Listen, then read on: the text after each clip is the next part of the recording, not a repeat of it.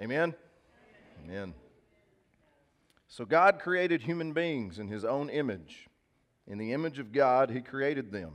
Male and female, he created them. Then God blessed them and said, Be fruitful and multiply. Let us pray. Dear Heavenly Father, we praise you, Father, again for all the victories of this church. Uh, the joy, again, Father, just continues to pour in. Uh, Father, your peace. Uh, Father, most of all, your presence here in this room. It's always evident to us that you're here. Uh, Father, I thank you for the worship today. Um, tell you, Father, that connection that we have, Bojo mentioned that. You know, it's a heart posture. And uh, Father, I need this church to know and understand that's how we connect. That's how we connect with you. Father, we need to do that more and more. I need this congregation to understand when things, when storms come, that's it's time to worship. Father, that's when you want to hear from us the most. And Father, one thing that I always love about you is you never, you never told us we wouldn't go through storms, but you promised us that you would be there when we go through them. And Father, I praise you for that, for the storms I've been through, and knowing and having the peace that you were there. Father, today you are allowing me to preach a series that I've preached before. I'm excited to preach it. I thank you for that. Uh, Father, a lot of times you give me some hard things that I have to preach that, that, that to be honest with you, I don't really want to preach. But I'm always going to be obedient to you, Father. I've told you that from day one. I'll be obedient till it hurts. I'll push past it. But today, Father, again, you've given me something that I really enjoy talking about. And I just ask that you give me today Father, your words, make sure because I enjoy talking about it, Father, I ask that my pride does not get in the way. Father, I ask that you strip me of my flesh. And Father, that it is you that comes out of me today, that this congregation hears your voice and that they understand that it is you, Father. So in this moment, Father, I'm asking that you anoint me from the top of my head to the bottom of my feet.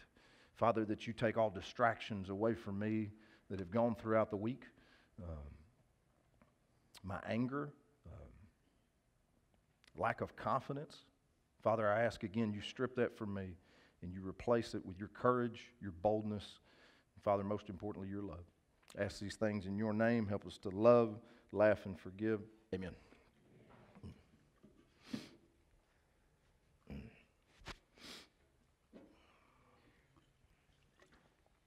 As y'all heard me in prayer, I am super excited today to start this series called Warrior Marriage. I preached this series for the first time two years ago, guys, and, and right after I finished preaching, and I remember God telling me, You're going to preach it again.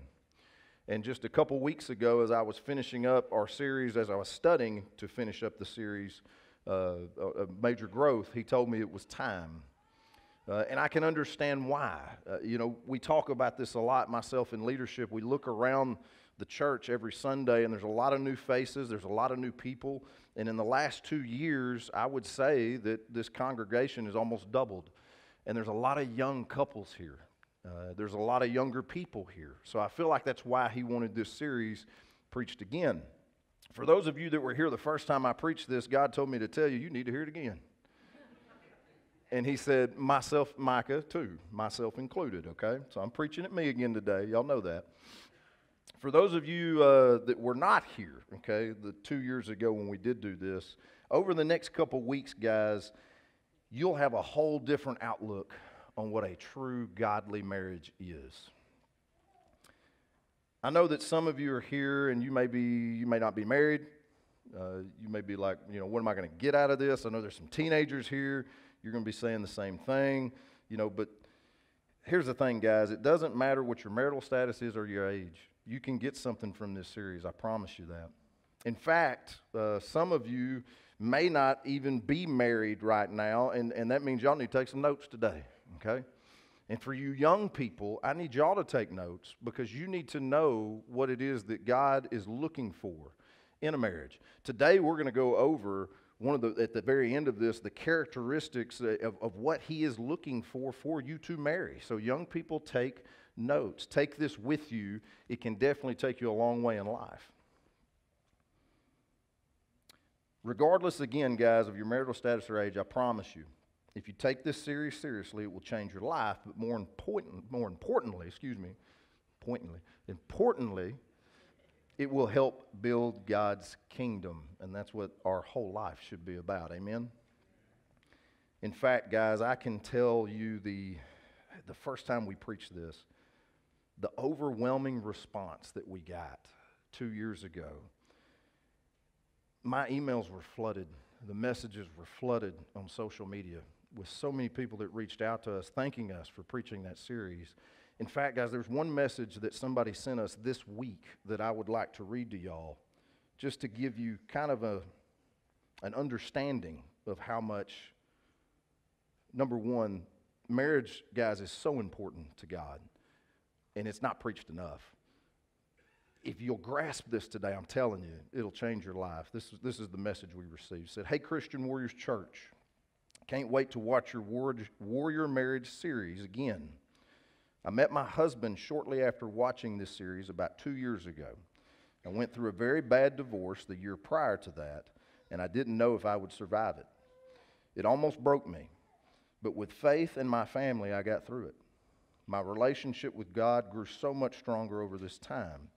This series completely changed my life when I found it on YouTube and raised my expectations and standards for what I wanted my future marriage to look like. Warrior Marriage really changed me. I've watched this series so many times now. Because of this series, I asked my now husband to pray for us on our first date and asked him to come to church. I knew if he couldn't be a godly man, it wasn't going to work out. God was the topic of many of our conversations from then on. When we first got together, my now husband was not a strong believer, but within a few months of us dating, he got saved and has built a strong relationship with God. I have typed this message out to you guys so many times and never sent it. I truly thank your church from the bottom of my heart for the Warrior Marriage series. It changed my life. Y'all are amazing. God bless. Amen.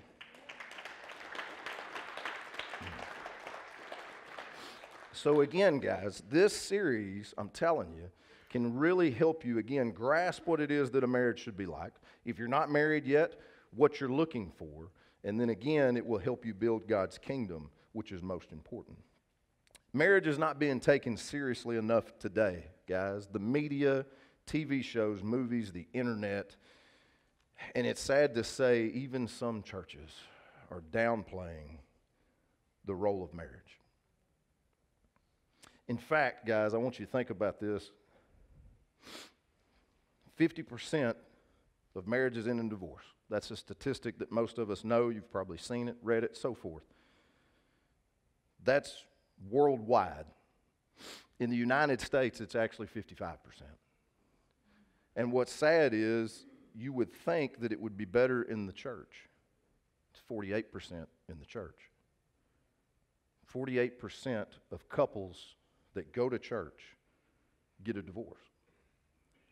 We as a church should be setting the example to the rest of our country and to the rest of the world of how this is supposed to work, and we're not. It's sad, we're, we're not. It's time that the church stand up and quit giving up on marriage so easily. We're going to discuss that a lot today. I want to ask I want you guys to ask yourself a question this morning. How can such a great institution, which is the foundation of family by the way, be in such disarray in the world we live in today? It's because our world has a disconnect of how God intended the institution of marriage to be. So, over the next few weeks, again, we're going to be discussing many different biblical points, instructions, and characteristics of what God intended marriage to be. But today, we're going to start with us in this series by discussing two things God's purpose for marriage. We need to understand that, right? better understand at least the purpose of marriage, it's going to be destructive. It's going to be terrible. And the instruction of who God wants us to marry. That's the two points that we're going to have today. There was a man, by the way, that's the y'all that were here beforehand two years ago. Okay, I'm going to tell some of the same stories and the same jokes, so just spiritually look at me. Okay, act spiritual and nod and laugh. Make sure you laugh. If you don't laugh at my jokes, y'all don't understand what that does to a pastor, okay? I need to be encouraged, okay? So, and that's part of the gifts of the body, right? Encouragement. I'm gonna need your encouragement. But anyway, long time ago, there was a man. Thank you. not yet, not yet. Hang on, hang on. Let me get there.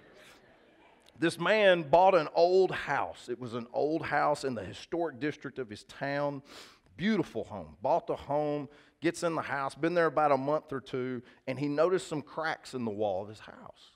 So he picks up the phone and calls a painter. And he says, Hey, I got these cracks in my wall. I need somebody to paint over it. Can you come and check this out? He said, Yeah, I'll come check it out. So the painter shows up and he goes over there and he looks at it and he, and he putties up the cracks and he paints over it, right? About two months later, same situation. Cracks in the wall. He got a little mad. He called the same guy. He's like, Hey, man, listen. You came down here and fixed this. I got the problem again. It's in the same spot.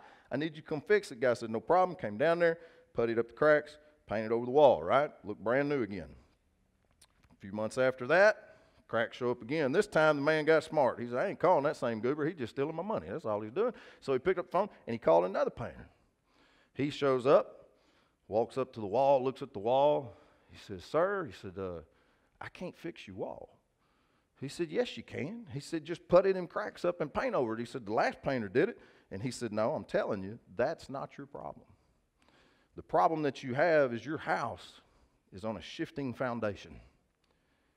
Guys, without a strong foundation, your house is going to fall apart. Your marriage is going to fall apart.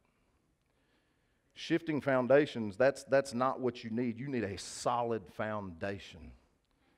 Solid foundation of what God intends the marriage to be like, what your home should be like. We're going to start from the beginning to make sure, again, that we all understand God's fundamental foundation for marriage. And by understanding and setting this strong foundation in place, we can all have a strong warrior marriage. Now, what is a warrior marriage? Micah, you got this as the title and everything. What's the definition of warrior marriage? Pull it up for me, Nick. A covenant between a husband and a wife who work together under God's authority to replicate his image and expand his kingdom. That's a warrior marriage. The number one way that we can build God's kingdom and reflect his image is through a true godly marriage. That's how we do it.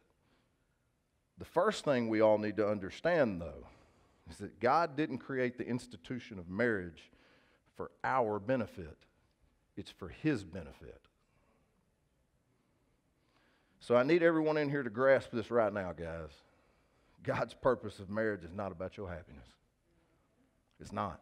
Your happiness is not the purpose, guys. Your happiness is the benefit of marriage. Not the purpose, it's the benefit. Some of you are looking at me like, well, my marriage ain't happy. We get there. We, we're fixing to get there. The problem today is too many people flip the benefit and the purpose. That's the problem. Too many people easily exit God's institution of marriage at the first sign of trouble and unhappiness. It's kind of like the pastor that, that was marrying this couple one time. And, and, and you know, you get to the part of the, of the ceremony and you say, if anybody disagrees that these two should be wed, speak now or forever hold their peace. And the pastor says this, and all of a sudden he hears, I disagree.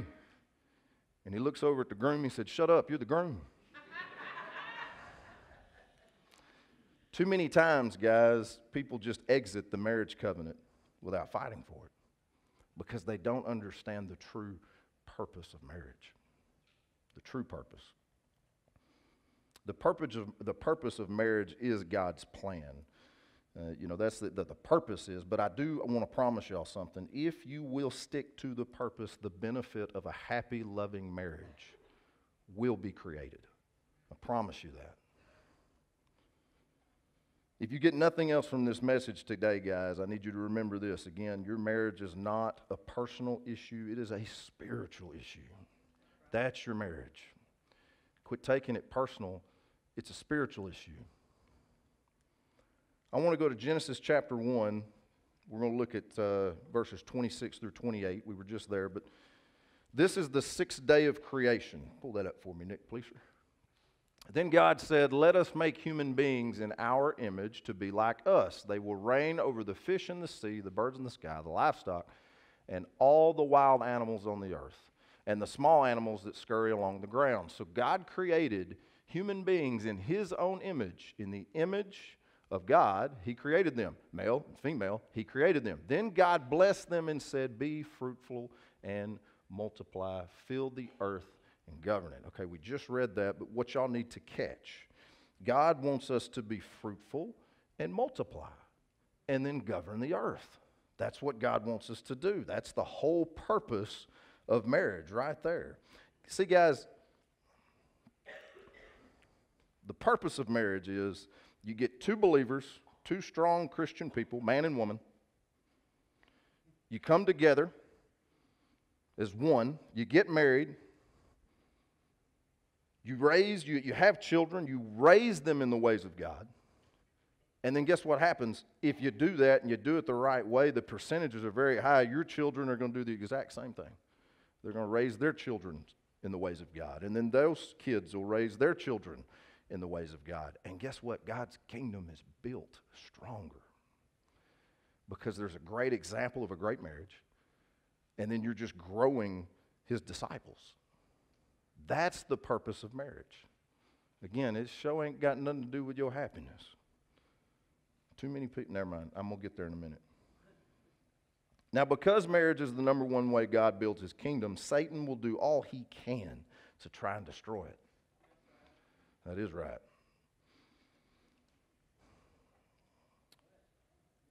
Marriage is always under attack, guys. You know, Satan's a divider. That's his job. His whole job is to divide you from your spouse. That's his whole job.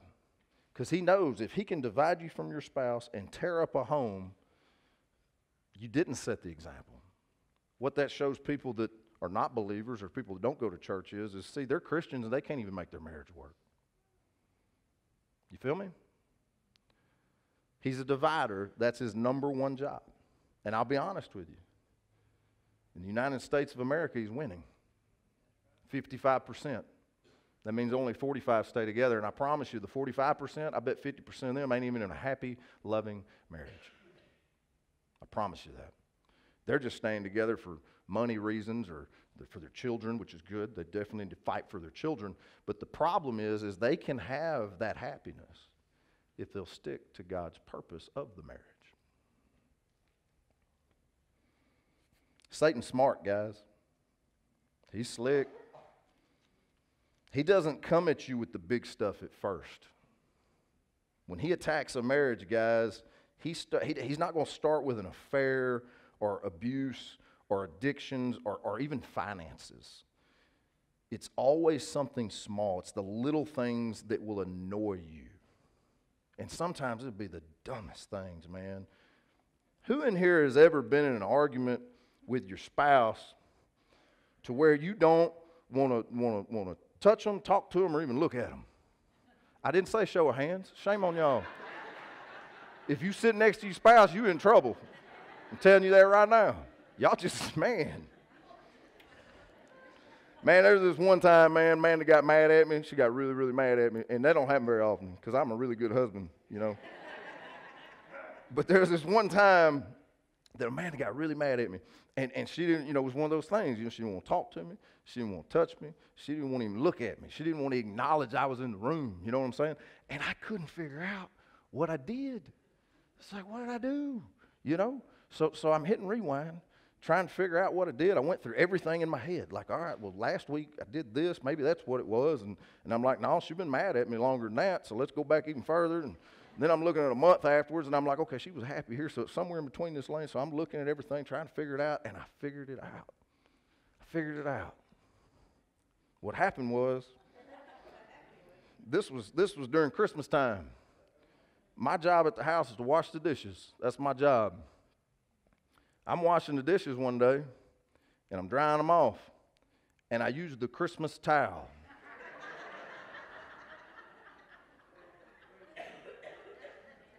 Men, that's decoration. That's not a towel. But I need y'all to understand something as stupid as a towel got me and her divided. Think about it. It's the little things that annoy you, and he'll drive a nail between you and your spouse. And the problem is, those little things start to turn into bigger things, they start to add up. All of a sudden, you've got a tower. You know, it's like putting Legos together, right? Like you put one Lego, put another Lego, put another Lego, and next thing you know, you've got this tower. Guys, and the problem is if you try to just knock the tower down, there's still pieces of it together, right? You still got those problems that you got to tear apart. You got to go one by one. And you get rid of them. Don't allow those annoying things, the small things, to add up. Because the next thing you know, again, those small things turns into something really big.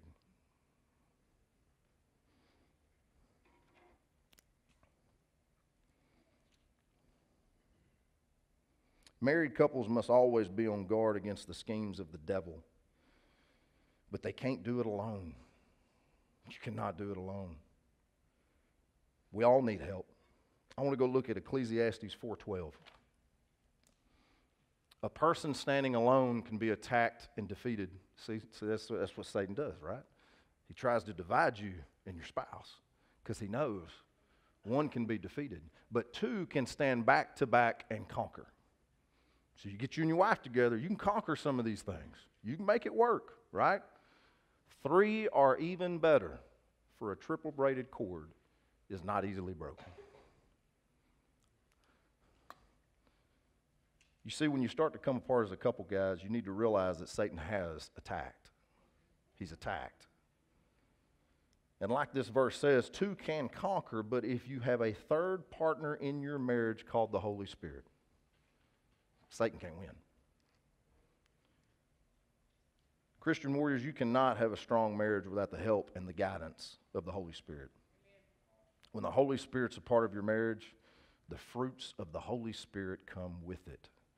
I know we just pulled this up a few weeks ago. We're going to do it again. Galatians 5 22 through 23. These are the fruits of the Spirit. But the Holy Spirit produces this kind of fruit in our lives. Notice I put marriage there. That's your life, right? So it can produce this kind of fruit in your marriage love, joy, peace, patience, kindness, goodness, faithfulness, gentleness, and self control or discipline. No show of hands. Who doesn't want that in their marriage? When it's just you and your wife, yeah, you can conquer a few things, but, but you're not going to have these things with you. I mean, I don't know about y'all, but man, I, I, I want love in my home. I want joy. I want peace. Patience, I definitely need more of that. Kindness, goodness, faithfulness. Faithfulness. If the Holy Spirit's not in your marriage, it's going to be a struggle for both of you to be faithful. Gentleness, I definitely need a lot of that. And then, of course, discipline. If the Holy Spirit Guys, just think about it, man. For those of, you know, there's couples that are watching, couples maybe that, are, that just gotten here. Guys, if you're not allowing God to be the center of your marriage, you're missing out on these things. Not that they won't come around every once in a while, but here's the guarantee if He's in the center of your marriage, if He's in your home, those will always be there. You can't do it just you and your spouse. You have to have the guidance of the Holy Spirit. Here's the main point that you need to grasp again, guys. You cannot allow Satan to disrupt your marriage because when Satan starts to disrupt your marriage, he starts to disrupt God's plan and purpose for marriage. God's institution of marriage, again, is much, much, much bigger than your happiness. So much bigger than that. Guys, when a marriage fails, it sets a bad example for what God intended it to be. You know, that's what we were just talking about earlier, and that's why the church has not done a good job. I'll just be honest with you. And I'm going to tell you why that is. I call it the commercial church. And what I mean by that is the commercial church, if you take, um, oh, what's the word I'm looking for? Hang on. God, give me the right word. The right word. Okay. If you take a big business and they become commercialized, they have formed to the ways of the world, they've conformed to the ways of the world. That's what's happened. That's what commercial churches are doing. I was talking to a man not too long ago. This is an older gentleman. And we were visiting about marriage. Came in the jewelry store one day. And he asked me, he said, How often do y'all talk about marriage and family at the church? And I looked at him, I was like, Honestly, I think I put it in every dang sermon. And I said, Because God told me to. And he looked at me. Now, this is a man, he told me this. He said, I've been going to the same church for 30 years. Not one time have they preached on the marriage covenant, divorce, any of those attacks. Not one time have they preached on it. That's a commercialized church, guys. Because people don't want to hear it. They don't want to hear it. They want to hear about the struggles. They don't, it makes you uncomfortable. You know, I promise you, there's people in this room right now that they're, they're, they're sweating. They're thinking, man, my marriage is terrible right now. It's rocky. Guys, you got to hear it. You got to learn, and where better than in the church where truth is going to be given to you and then followed up with love and compassion and discipleship. I know it's hard, y'all. There's a lot of things that are hard to talk about. Y'all think I like preaching on this stuff all the time. But, guys, I promise you, if you're going to grow, why not in the church? If you're trying to learn it out there, you're going to conform to the ways of the world where they're telling you just get a divorce. Just get a divorce. We got to fight for God's purpose, not our pleasure. There's one more point I want to add before I move on to the next topic. When Satan attacks your marriage, and I assure you he will, you need to make sure you're going to the correct source that can help you fix the marriage. Don't go to your buddies. Don't do that. Don't go to the internet or social media. Do not do that. You got to go to the correct source. About four years ago, we got a new treadmill at the house. The circle was heavy. Anyway, we got it, uh, had, had to take it from the front door all the way as far away from the front door as we could get it in our house. That's where she wanted the treadmill. And I just said, Yes, ma'am. So we get this treadmill there, and, and, and it's in this big old box. And it was late in the evening that evening. I was like, Well, I'll break it open tomorrow. So I took the day off so I could hang out with Amanda, and we were going to put this treadmill together. So anyway, we're down there the next morning, and she said, uh, "You gonna start putting that treadmill together?" I was trying to, you know, prolong it as much as I could. So yeah, absolutely, baby, I'm gonna get this treadmill together. And the next thing I know, she gone. Oh, yeah, she was gone. She went up to the room. She going to take a shower or something. And I was like, well, she'll be down here in a minute. So I'm gonna go ahead and start putting this treadmill together. So I bust open this box, and I'm looking at the picture, and I'm like, you know what? I know I'm not the smartest dude in the world, but I don't need these instructions. It's not that hard. You know, I'm a country kid. I can put something together. You know what I'm saying? So I break out this thing, and y'all, I spent an hour working on this treadmill, and, and it about fall apart. And my wife, my amazing, merciful,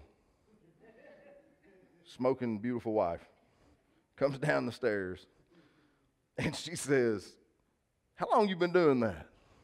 I said, "For an hour." She said, Where's the instructions? I said, I don't need no instructions. She said this Don't you think the treadmill maker knows more than you do about putting that treadmill together? Guys, don't you think the marriage maker knows more than we do about how to build a strong marriage? Guys, when you're struggling in your marriage, again, don't go to your friends. They're going to take your side. Well, not all of them. If they're a good Christian man like me, I'll tell you real quick, you know. But but the majority, again, conform to the ways of the world. If they're not a strong believer, guys, they're just going to tell you, oh, if you're not happy, you just need to get out of it. Guys, when you're struggling in your marriage, there's only one place to go, and that's the instruction booklet. And it's all in there. And we're going to go over that the next four weeks, step by step.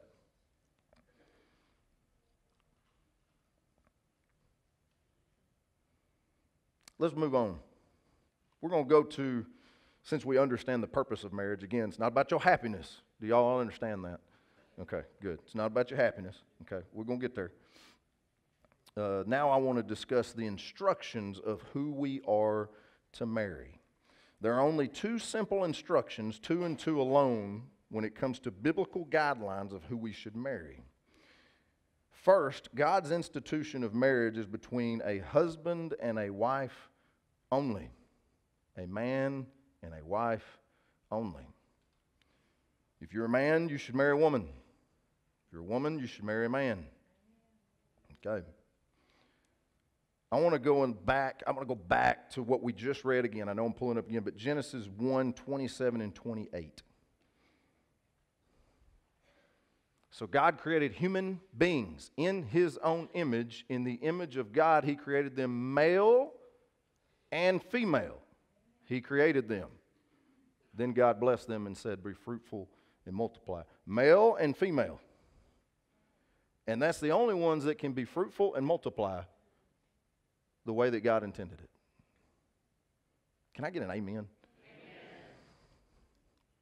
Dang, listen, Mikey's not here. I'm going to need y'all to speak up a little bit. Thank you very much. A lot of times people argue against these verses and they say that it's the old covenant and that we now go by what Jesus said, which is the new covenant. And if that's the case, that's fine. I want to look at Matthew 19, 4 through 5. Haven't you read the scriptures? He's talking to the Pharisees here, by the way. He's getting on to them. Like, y'all sitting here trying to argue me about something. Hadn't you read the scriptures? That's what he's trying to say here. They record that from the beginning, God made them male and female. This explains why a man leaves his father and mother and is joined to his wife, and the two are united into one. Doesn't matter how you read it, guys. The first instruction God gives us is simple, and that is that a marriage is between a man and a woman only. Now, I want to add something to that. I said this a couple weeks ago. If we have anybody in this church, or if we have somebody watching online that struggles with this, we love you. I love you from the bottom of my heart and I ain't going to treat you no different than I do anybody else in this room. But I am going to have to give you the truth from this pulpit. And sometimes it breaks my heart because I do. I, I don't want to, I don't like to upset people. I hate it. But I took an oath that I'd tell the truth from this pulpit. But please know we love you and you're invited here. Every sinner Every sinner is invited to Christian Warriors Church. I don't care if it's something of this nature. I don't care if you're an alcoholic, if you're a drug addict, whatever it may be. You are invited to Christian Warriors Church. Amen? Amen.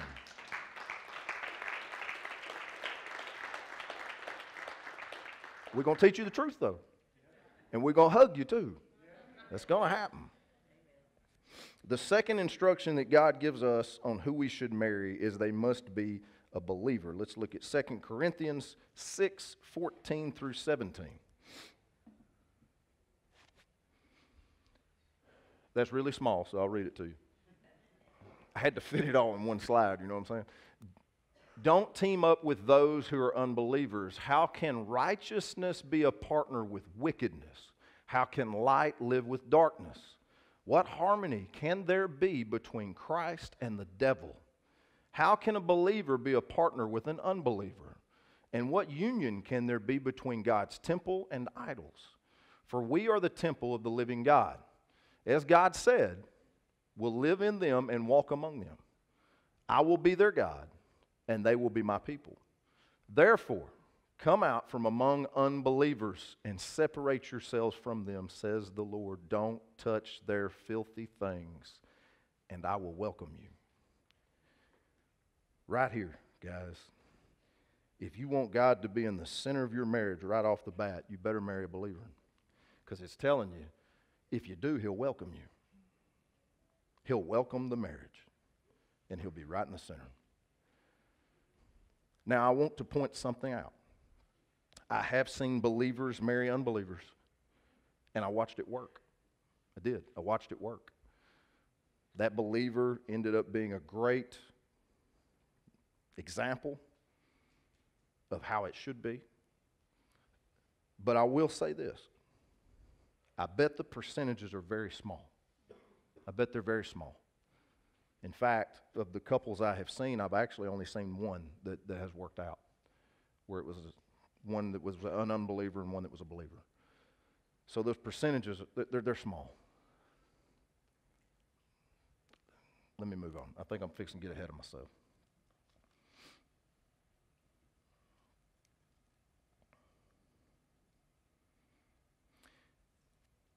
Oh, okay. I'm going to discuss something that might step on some toes in this room, but y'all need to understand I'm, I'm aiming at your heart, not aiming at your feet.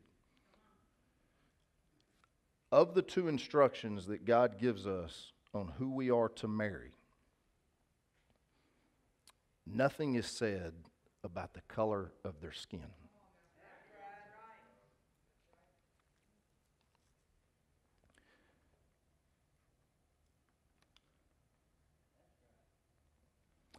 In fact, guys, I'm going to read a verse to y'all that pertains to this. This is instructions of remarriage in the event that a spouse passes away. I want to look at 1 Corinthians 7:39. A wife is bound to her husband as long as he lives. If her husband dies, she is free to marry anyone she wishes, but only if he loves the Lord. It says nothing about race. It says they can marry anyone. Guys, I want to share something with y'all personal. It's the same thing I said two years ago, so if you were here, you're going to hear it again. Every single morning,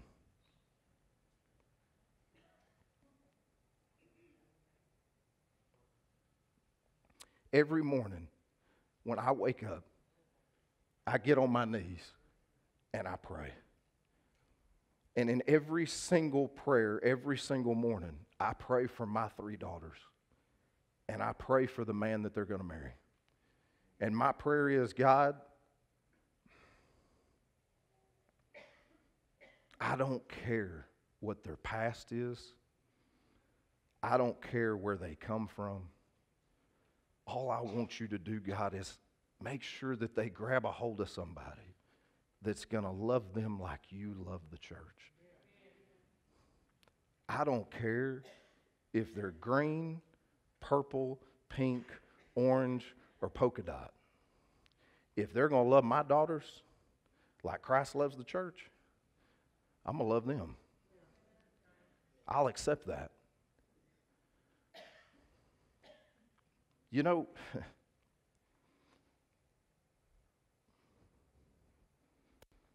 I've seen a lot of, uh, of, of, of hatred towards this. And I've seen it, what's sad is sometimes I've seen it in the church.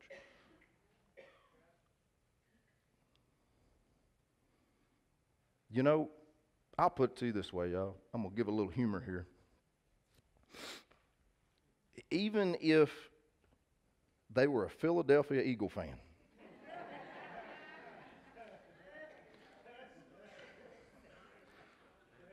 if they really, really, really love my daughters, really, really, like Christ loves the church, I might love them. Let's move on.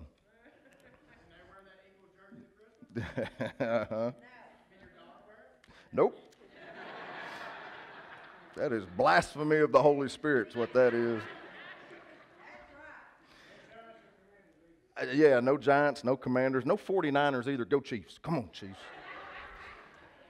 One more point on this topic, and I'm going to move on, guys. Um, there is one thing, and, and I have sat down with friends of mine that are interracial couples, and, and this is something that I've asked them, is I want to know the struggles that you've gone through. And I want y'all to know that if my daughters were to marry someone of a different race, I would have that conversation with them to prepare them. And here's the thing there's nothing wrong with that. You need to prepare your children for how the world's going to react to something they don't understand. Okay? So, so I would sit down with my kids and explain to them it's going to be a struggle. Every couple I've talked to, that's what they've said. There's a, it's a struggle at times. But, guys, if God's love is there, that's all that matters. And that's what we need to, to stress. You know, I don't, again, I don't care what the race is, just love my daughter like Christ loves the church and make dang sure God's in the center of it. And besides that, it's going to work out great.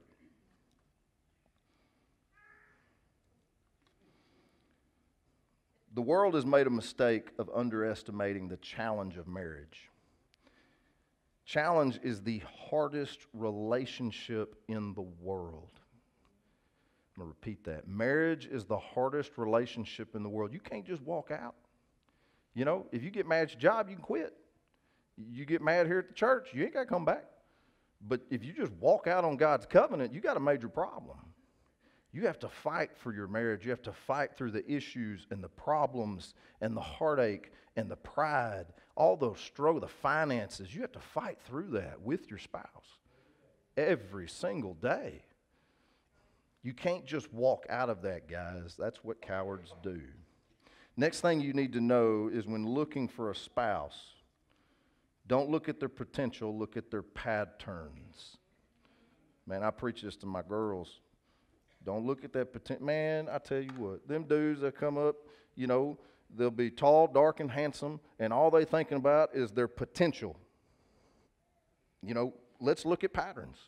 Where do they go to church? What's their family like? Do they pray every day? You know, how's he act around other people? You know, does, is he respectful to people? Does he open the door for you? Does he, you know, I mean, come on, look at the patterns of things. I'm speaking to women, I'm speaking, I'm speaking to my daughters, I'm speaking to you guys too. Like, you really need to look at those things. Uh, patterns are so important, guys. In fact, I tell you something really important, and God showed me this earlier I'm going to read it to y'all real quick. It's in Proverbs 24, it's verse 27. You don't have to go there. I'm just going to read it to you real quick. I read this this morning. Do your planning and prepare your fields before building your house. See, the problem is, is you got a lot of you ladies. I love y'all, but you got a lot of you ladies, and it doesn't make sense to us men that that, that you picking out this dude potential that that has no job yeah, come on. Has no job, no car, you can't go nowhere. You know, don't go to church and you trying to figure out why your marriage sucks so bad. you ain't got no money because he ain't got a job. Again, can't get nowhere. And eh, he ain't going to church. God's not in the center of your marriage. All that great stuff from the Holy Spirit, it ain't there. All it is is just heartache. That's what comes with it. And again, y'all look at, but he's got so much potential. he said, potential don't pay the bills. Potential also ain't going to pray for you. I promise you that. You got a pattern of that. Amen? Amen. Their actions better matter their, better their words, guys. Always keep that in mind. And, and ladies, I'm telling you, it's biblical. It's like that verse I just read. Don't marry a man until he's prepared to take you on. Do y'all feel me, ladies? Don't, don't do it. Daughters, don't do it. You make dang sure that man is prepared before he takes you on. One thing that you need to do when you're trying to find somebody to marry, guys, you need to test them. You need to ask them, again, where do they go to church? Oh, and this is always a good one, man. Oh, this is get them. Because you can ask them where they go to church, and they'll say, I go to Christian Warriors Church, but, but we only see them at Christmas, Valentine's, Mother's Day. You know what I'm saying? But, but that's where they go to church. So the next question you ask to catch these dudes that have so much potential, okay, is you ask them, hey, oh, that's great. I'm glad you go to church. What book are you studying right now in the Bible? Deer in headlights. I mean, they, they, don't, they, they don't know them. If that's the case, get away. I'm telling y'all how to test this stuff. Men do the same thing to ladies. I'm, I'm telling you. Ladies probably do read the Bible more than most men, though. Shame on you. Invite them to church. See how they handle that. See if they even come. Invite them to your home for dinner. ladies, okay, I know I keep talking because I got daughters. All right, just get over it. This is what I'm going to say. If you got sons, just reverse it, okay? Just reverse it. I'll put it to you this way if some dude wants to date my daughter and he won't come to church, unless he's got a church home, I'm cool with that, you know. But if he won't come to church with her, and if he won't come to my house to meet me, I don't think so. If he won't come to my house to have supper at my house, because one of the things I've always told my daughters, they're like, Dad, when can I date? I said, You date whenever you want to. You're just going to date under my roof, right here at my house, under my eyeballs. You know what I'm saying? So any dude that wants to date my daughter, they're going to have to hang out with me for a while before I trust them with my daughters. Amen? But here's what I need y'all to grasp. If they won't go to church with you, and if they won't come to your house and face your parents, you got to go. That, that, that person ain't worth it. It, it. That's a sign. That's confirmation. Okay? That's what it is. And I know you teenagers, like, I get it, man. I'm so in love. No, you ain't. You don't understand it yet. I'm telling you right now. I thought I was in love a hundred times before I finally found the true love of my life. I'm telling you, you ain't in love.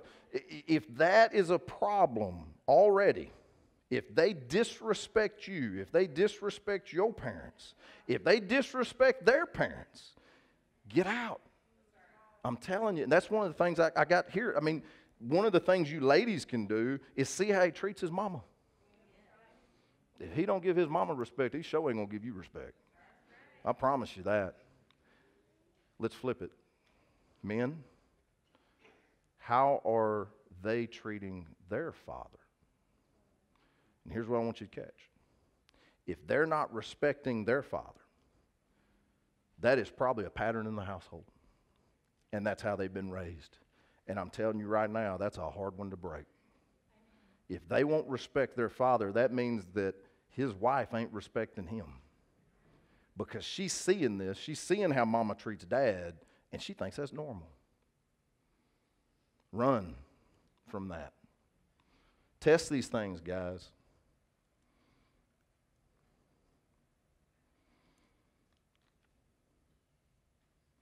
Last thing I want to bring up, we talked about last week. Nick, could you pull up that slide of the characteristics of a pastor for me, please?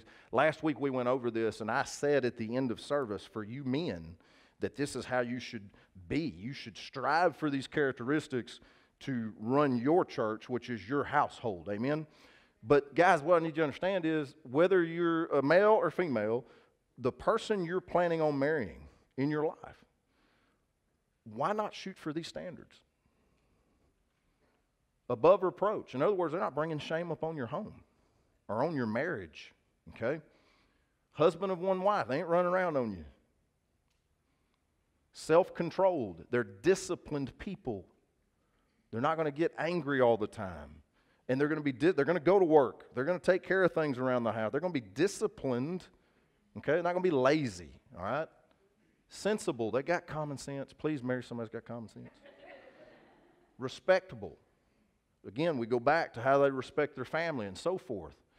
Ladies, I'm telling you right, mm, you make dang sure that man respects you, loves you, cares for you. If he dishonors you and disrespects you, there's a problem. Now, don't get me wrong, we mess up every once in a while. Sometimes our flesh comes out and so forth. But if it's a pattern, then we have a problem.